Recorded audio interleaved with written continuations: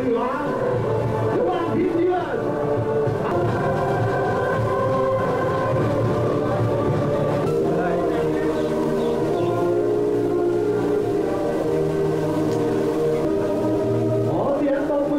นักกีฬาทั้งสองทีมด้วยครับ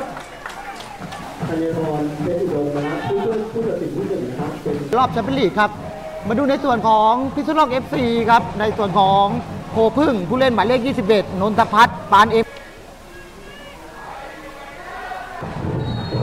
สัญญาณมาเกมเริ่มครับแมโจยูไนเต็ดครับเปิดเกมขึ้นก่อนแล้วครับ หวังบอลยาวๆก็ก็ยังไม่ผ่านเลยครับวิเชตนันเล่นหลังลายหลังลายแล้วถึงเลยครับ มาดูโจกิโกกิคัดแบ็กแล้วโอ้โหโอ้โห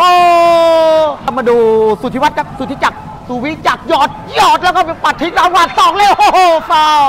โอ้จังหวะมีเสียงนกหวีดก่อนแล้วล่ะครับในการทำฟาวล์ผู้รักษาประตูครับหยอดหยอดมาหน้าประตูแล้วโอ้โหยังเป็นแม่โจจังหวะสองซ้ายตีซ้ายแล้วเปลี่ยนทางโอ้โหยังมาเองทางซ้ายทางซ้ายมีเติมมามาตุดเส้นหลังแล้วก็โอ้คองเข้าขวา แล้วก็โอ้โหมีสัญญาณโอ้โหจังหวะจังหวะ หมดลิงพิมลจันทร์คำมาไหลไหลมาจีล้วใช่แล้วขวาใต้ใต้โอ้โหนาราศักดิ์ลองหาหาลายหาลายขวาโค้งโอ้โหโค้งไม่ผ่านกำแพงบอลของนาราศักดิ์ครับยังตามมาเก็บเล่นได้ทีที่ว่ากรตีเอโก้ครับ แล้วก็หมดเวลาการแข่งขันครับในครึ่งวันแรกครับโมเมนตัมบนสกอร์บอร์ดยังเสมอกันระหว่างพิษณุโลกเอฟซีแล้วก็แมโจยูไนเต็ดครับศูนย์ประตูต่อศูนย์ครับแมโจยูไนเต็ดจากขวามาซ้ายครับ สัญญาณมาเกมเริ่มครับพิษณุโลเอฟซีบอลหยอดจอดหลังลายหลังลายก็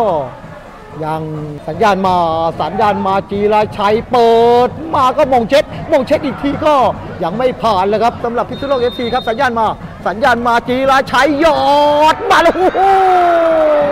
จังหวะยังชกทิ้งไม่ได้เลยครับ แล้วก็บอลออกเข้าสนามครับธีราชัยครับมามาดูขวาโค้งเข้ามาแล้วได้บอลเรียบร้อยเลยโอ้ โหไคโอโอ้จังหวะลอยเข้ามาคนเดียวเลยครับไคโอโอ้โหอย่างนี้ assist เป็นของธีราชัยเลยครับแล้วก็ประตูเป็นของไคโอโอ้โหจังหวะลอยเข้ามากลางอากาศนี่คนเดียวเลยครับแล้วก็โหม่งกดลงพื้นเป็นประตูขึ้นนำเลยครับให้กับพิษณุโลกเอฟซีครับไคโอดาวซินว่า ให้แต่ก็แต่ก็ยังเป็นยังเป็นจิรชัยแต่สอดเข้ามาเลยครับมามาดูเกมดูเกมแล้วลูกนี้แล้วขวาโค้งโอ้โหโอ้โหจังหวะโอ้ชิมิสุในการเบียดเอาชนะได้แล้วครับมามาดูเกมแล้วเปิดเข้ามาในจังหวะสองจังหวะสองก็แล้วโอ้โหโอ้โหจังหวะกรรมการมองว่าเป็นการทำฟาวของพิษณุโลกนะครับ เช็คละเอียดเลยครับกำแพงอะ อ่ามาสัญญาณมาสัญญาณมาสายเรียบเรียบแล้วโอ้โห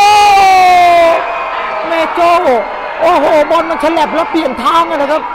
โอ้โหตามมาเสมอกันที่หนึ่งประตูต่อหนึ่งครับ จากการยิงของสุวิจักมูลแก้วโอ้บอลฉลับกำแพงแล้วเปลี่ยนทางครับ